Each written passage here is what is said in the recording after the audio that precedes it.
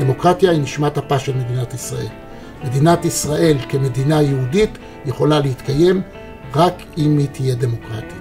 אתה עושה זאת פשוט מאוד, הולך בדיוק ומשמש את הכנסת ככתבם ולשונם של כל ההוראות, התקנות והחוקים אשר מחייבים את הדיון הציבורי ומחייבים לאפשר לכל אחד לומר את דברו ולנסות להשפיע בדמוקרטיה הישראלית. כיושב ראש הבית, אתה צריך קודם כל לדאוג שחברי הכנסת יפעלו בהתאם לתקנון אתי כלשהו, למרות שחברי הכנסת מתרחקים מתקנונים אתיים. ויחד עם זאת, בבית שהוא בית העם, בית שהוא כל כך שקוף, אסור חלילה שהבית הזה ישמש ללעג ולקלס על כך שהוא לא מנוהל כראוי.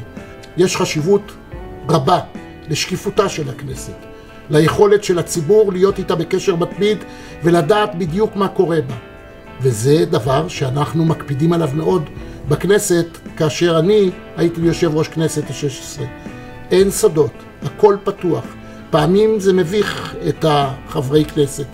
פעמים אנחנו גם רואים חברי כנסת אשר חושבים שתכלית הכל היא שהם נבחרו, והם שוכחים במידה רבה את הצורך שלהם להיות שליחים, שכן חברות בכנסת היא שליחות.